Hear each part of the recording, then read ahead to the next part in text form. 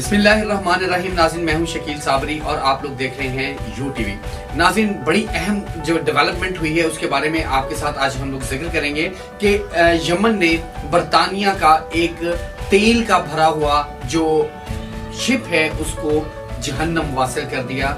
समंदर में उसको तबाह किया और नाजिन ये तबाहकारी, ऐसी तबाहकारी थी कि आज से पहले यमन ने जितने भी शिप्स समंदर में तबाह किए हैं, इतना बारूद, इतनी आग किसी पर उन्होंने नहीं बरसाई।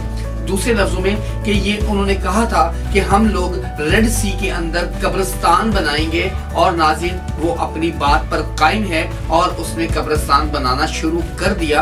आज जो इन्होंने शिप को मारा है बरतानिया के शिप को, वो तकरीबन कोई 40 से 50 मुल्कों के लिए जो है ऑयल लेके जा रहा था, जिसको उन्होंने रस्ते में ही जहन्नम हासिल कर दिया। नाजिन याद रहे, यमनी जो है, वो ललकार के अपना काम करते हैं, डर के, छुप के, ऐसा कुछ नहीं करते वो, कि हमें किसी चीज़ का खौफ है, या हम चोरी चोरी से अपने दुश्मन को मारेंगे, ऐसा कुछ भी नहीं है। पहले वो वॉर्न करता है उनको कि तुम होशियार हो जाओ अलर्ट हो जाओ और बेहतरी तुम्हारी इसमें है कि तुम वापस पलट जाओ। जब कोई शिप उनकी बात नहीं सुनता तो फिर वो 10 से 15 मिनट की वार्निंग के बाद उसको उड़ा देते हैं। और नाजिर, यहाँ पर ऐसा ही हुआ कि जब उस शिप ने बात न मानी यमन की तो यमन ने वो बरतानिया का जहाज़ उड़ा के रख दिया।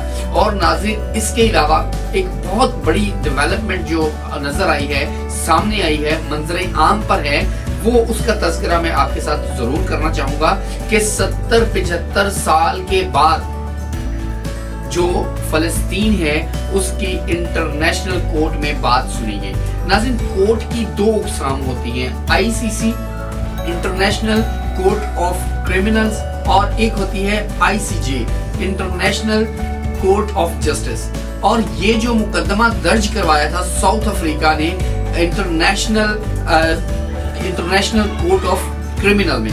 अब उसमें ये होता है, नाजिन, के पंद्रह जजेस बैठते हैं, उस वो पंद्रह जजेस का बेंच होता है और उसके बाद जिन दो मुल्कों के माबेन कोई दरख्वास्त होती है, कोई रिट होती है पटिशन दायर की जाती है, उनके मुल्क से भी एक एक जज को उसमें बिठाया जाता है। यानी कि टोटल जो जज थे, वो सत्रह जजेस पर ये मुश्तमिल बेंच था, जिन्होंने फलस्तीन के हक में फैसला दे दिया। जी हाँ नाजिम फलस्तीन के हक में क्या फैसला दिया है? इसकी डिटेल्स में आपको बताता हूँ। हुआ यूँ कि पहले जो, यहाँ पर दो मतलब फैसले आए। पहला फैसला आया पंद्रह दो की अक्सरियत से। यानी कि पंद्रह जजेस ने फैसला किया और वो एक फैसले पर मुतफिक थे। और उसके बाद जो फैसला आता है, वो 16 एक का फैसला आता है। यानी कि 17 में से 16 जो जजेस हैं, उनका एक फैसला था और एक जज ऑब्वियसली कि वो इसराइल का था। उसने इसराइल के हक में बात की। बाकी 16 जजेस ने नाजरीन, बात की है फलस्तीन के हवाले से। और इन पर क्या क्या पाबंदियाँ आयद की है नाजिन ये आपको थोड़ा सा तफसील से बताते हैं कि इसमें जो पाबंदी आयद की गई है, सबसे पहले तो ये कि उन्होंने कहा है कि तुमने वहाँ पर लोगों को बेघर कर दिया है। तुमने वहाँ पर अमलाक को नुकसान पहुँचाया है। और सबसे अहम प्ली जो साउथ अफ्रीका ने इसमें रिट में दायर की थी कि ये नस्ल कुशी करने जा रहा है फलस्तीनियों की। तो नाजिन इंटरनेशनल कोर्ट ने इसको आलमी जो इदारा है, उसने इसको कबूल नहीं किया कि तुम लोग फलस्तीनियों की नस्ल कुशी अगर कर दोगे तो ये तो बात बिल्कुल गलत है। तुम लोग नस्ल कुशी पर तुले हुए हो, लिहाजा तुम फ़ौरन से पहले इस अमल को बंद कर दो। नाजिन, याद रहे कि इंटरनेशनल जो इदारा है, उसका एक तरीक़ाकार है कि वो with the passage of time उनको मतलब टाइम देता है कि आप अपने आप को सुधारो। अभी ये हुआ है कि इसराइल को इंटरनेशनल आलमी इदारा कोर्ट की तरफ़ से सिर्फ़ और सिर्फ़ तीस दिन का टाइम मिला है कि तीस दिन में नितन जो है, वो जवाब देगा। यानी कि इसराइल जो है, वो जवाब दे है इंटरनेशनल कोर्ट को कि उसने ये बर्बरियत क्यों उस बर्बरियत से बाज क्यों नहीं आ रहा अब तक? नाजिन, उसके साथ साथ उन्होंने कहा है कि सबसे पहले तुम निहत्ते लोगों के ऊपर जो वार कर रहे हो, जो उनको कत्ले आम कर रहे हो, इसको तो फिल फॉर ये लफ्ज इस्तेमाल किए गए हैं कि इसको इमीडिएटली बंद किया जाए। अगर नितनियाहू अब यहाँ पर इसको बंद नहीं करता तो नाजिन, इस इंटरनेशनल इदारे के जो नुकसान होंगे, उसको वो क्या होंगे कि उसमें सबसे अहम और बड़ा नुकसान जो होगा इसराइल को ये होगा कि जब आलमी इदारा जो इस पर रिस्ट्रिक्शंस लगा देता है तो उसके बाद आप कतई तौर पे कोई मुल्क भी उस मुल्क की मदद नहीं कर सकता।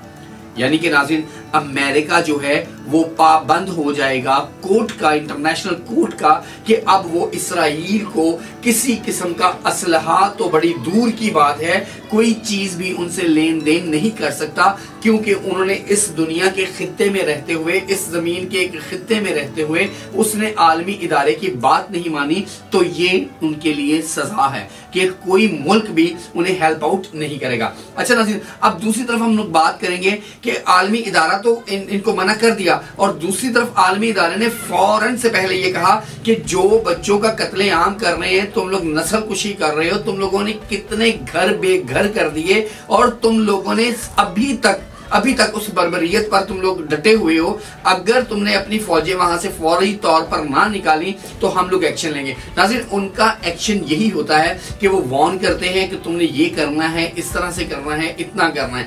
अभी तो पहला सेशन ये होगा कि आफ्टर थर्टी डेज़ उनको इसराइल को वहाँ पर जवाब देना है। आलमी जो इदारा है, उसमें जाके ये जवाब देंगे कि हम ये क्यों कर रहे थे और हमने ये क्यों किया, उसके बाद उनके फैसले होंगे। जब ये इसराइल पूरी दुनिया से कट जाएगा, आलमी इदारे के कहने पर कि जो आलमी इदारा कोर्ट है कि जिसने वहाँ पर फैसला कर लिया हुआ है इसराइल के खिलाफ कि इसराइल ये काम कर रहा है तो ये गलत है। यहाँ पर मैं आपकी याद दहानी कराऊं कि उसने जंग से मना नहीं किया।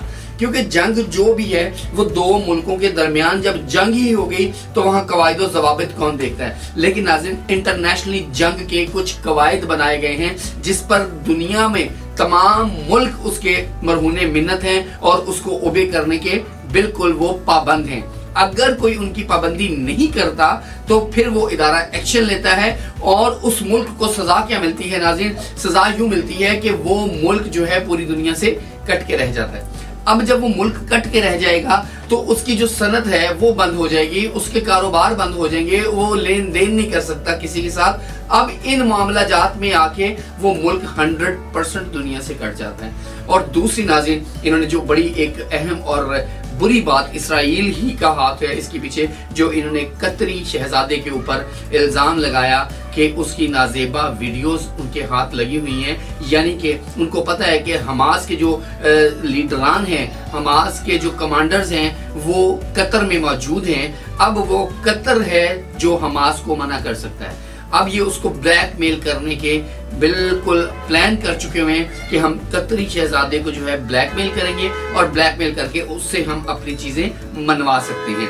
और दूसरी तरफ़ नाजिन आपको बताया था कि अमेरिका का जो वज़ीर दाखिला उनका जो सी आई ए का चीफ है, वो भी निकल पड़ा है मिन्नतें करने के लिए। कभी वो चीन की मिन्नतें कर रहा है, कभी वो यूरोप की मिन्नतें कर रहा है। तो अब मामला ये हो चुका हुआ है कि अब मुसलसल उनकी फेस सेविंग जो थी कि उन्होंने ये सोचा था कि आलमी इदारा जो है, वो हमें हम पर पाबंदी लगा देगा और हमारी फेस सेविंग बच जाएगी और हम लोग जंग को बंद कर देंगे। लेकिन उन्होंने जंग बंद करने का हुक्म नहीं दिया। नाजिन, इसके साथ साथ आपको ये भी बताता चलूँ कि जब ये हुक्म आ गया तो उसके फ़ौरन बाद यूरोप ने, अमेरिका ने अपने न्यूक्लियर जो प्लांट है, जो न्यूक्लियर उनकी पावर है, वो उन्होंने यूरोप में तैनात कर दी कि अब हम रूस के ऊपर हमला करने के लिए जा रहे हैं। नाजिन, ये अमेरिका का स्टेटमेंट है। अमेरिका ने कहा कि अब हम रूस पे हमला करेंगे। अमेरिका अफ़गानिस्तान से तो जीत ना सका। अमेरिका जो है, वो यमन से तो जीत ना सका। और यूक्रेन में भी तो अमेरिका ही लड़ रहा है। अब नाजरीन, ये मुँह की खाने जाएगा रूस से।